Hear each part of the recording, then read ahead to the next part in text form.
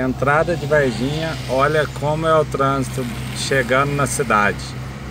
Tudo parado, amigo, tudo parado aqui, próximo ao Automóvel Clube, aqui na entrada da cidade, quem vem aí de Três Corações pra cá, entendeu?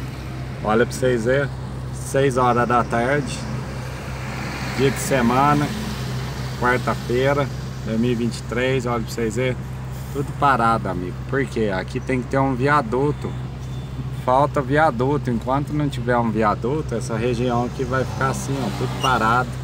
Entendeu? Olha lá, do lado de lá forma um filão, do lado de cá fica parado. Você fica com a meia hora para passar no percurso aí de 200, 300 metros. Então tá aí, galera. Falta viaduto na entrada de Varginha. Por que que falta? Por causa disso aqui, ó. Isso aqui, meu amigo, o meio ambiente está sofrendo. Quanta poluição tá indo aí dos carros aí para atmosfera. Quanto tempo sendo perdido. Grande abraço, amigo.